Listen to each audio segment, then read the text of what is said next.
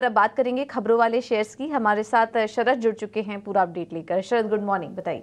Good morning Pooja. सबसे पहले जो है आईएफएल फाइनेंस पे जो है इम्पोर्टेंट खबर आई है और हम कह सकते हैं कि हमारे खबर पे मुहर भी आई है। जून सेवेंथ को हमने ब्रेक भी किया था कि इनके जो आरबीआई रिस्ट्रिक्शन है गोल्ड लोन पे वो निकल सकते हैं। ऑफ़ कोर्स अब जो है ये न्यूज़ फ्लो आ गई है। आरबीआई ने लिफ्ट कर दिया ये रिस्ट्रिक्शंस जो गोल्ड लोन बिज़नेस में लगाए थे आईएफएल फाइनेंस में। और याद रखिए, आरबीआई के अपॉइंटेड ऑडिटर ने भी एक स्पेशल ऑडिट किया था इसी केस को लेकर और ये जून में ही कंप्लीट हो गया था जब हमने आपको ये खबर बताया था कि आने वाले दिनों में जो है ये एक पॉजिटिव न्यूज़ फ्लो आ सकती है। देखा जाए तो मार्च के महीने में जो है ये कर्ब्स पुट इन किए गए थे, क्योंकि कुछ प्रोविजंस जो होते हैं लेंडिंग को लेके और बिज़नेस को लेके वहाँ पे थोड़ी सी वायलेशंस हुई थी। जाइडस लूपिन के लिए भी नेगेटिव न्यूज़ फ्लो है। एक सेटबैक आया है जी माइबेट्रिक के लिटिगेशन को लेकर अब इस दवाई का नाम है, ये थोड़ा सा कन्फ्यूजिंग है, लेकिन अगर सिंप्लीफाई करें तो यहाँ पर जो है थोड़ी सी आप कह सकते हैं यूएस में जो है कोर्ट रूम में इश्यूज़ आए हैं उनके आप कह सकते हैं पीएस के साथ और ओवरऑल ब्रोकिंग हाउसेज ने भी कहा कि इम्पैक्ट जो है देखने मिल सकता है। तो ऑफकोर्स एक नेगेटिव न्यूज़ फ्लो ज़रूर जाइडस और लुपिन के लिए है।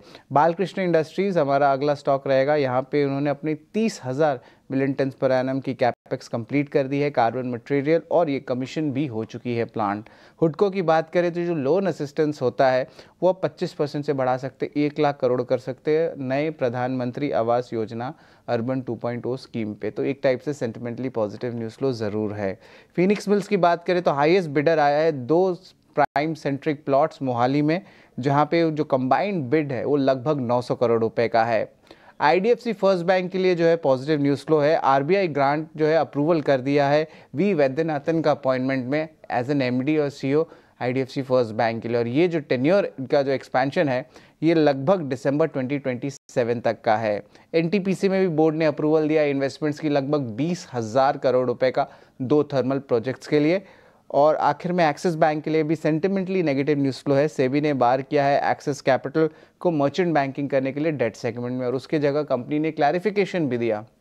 अब यहाँ पे उन्होंने कहा कि ओवरऑल जो है बिज़नेस पे इम्पैक्ट नहीं पड़ेगा और जो टोटल कंट्रीब्यूशन आता है इस सेगमेंट से, वो एक परसेंट के नीचे है। तो ओवरऑल फाइनेंशियल इम्पैक्ट नहीं पड़ेगा एक्सिस बैंक को।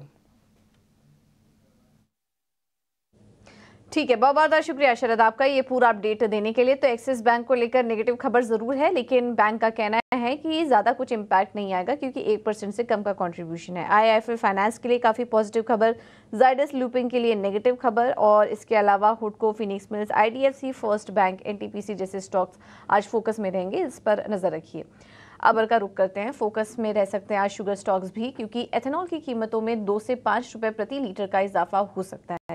ये एक्सक्लूसिव खबर लेकर प्रकाश प्रियदर्शी हमारे साथ जुड़ चुके हैं। प्रकाश, बताइए।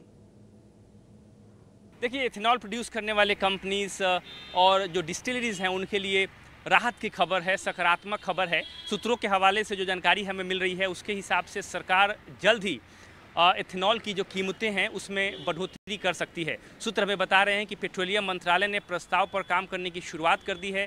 जो नेक्स्ट इथेनॉल सप्लाई ईयर है, उसके लिए इथेनॉल की जो कीमतें हैं उसकी समीक्षा की जा रही है और एक प्रस्ताव तैयार किया जा रहा है। इस वक्त इंटर मिनिस्ट्रियल कंसल्टेशन की प्रक्रिया चल रही है। साथ ही साथ जो दूसरे तमाम स्टेक होल्डर्स हैं जिसमें वर्ल्ड मार्केटिंग कंपनीज़ हैं उनसे भी आ, उनकी सलाह ली जा रही है और उसके बाद जो फाइनल कैबिनेट नोट है वो तैयार किया जाएगा और कैबिनेट की मंजूरी मिलने के बाद आ, इसको लागू किया जाएगा। सूत्र हमें इस बात की भी जानकारी दे रहे हैं कि जो फ़ूड मिनिस्ट्री ने आ, अपने इनपुट्स दिए हैं उसके हिसाब से इस बात की सिफारिश की गई है कि इथेनॉल की कीमतों में करीब दो से पाँच रुपये प्रति लीटर की बढ़ोतरी कर दी जाए नेक्स्ट इथेनॉल सप्लाई ईयर के लिए। तो ज़ाहिर तौर पे जो इथेनॉल कंपनीज़ हैं, जो डिस्टिलरीज़ हैं, उनके लिए ये काफ़ी सकारात्मक खबर है।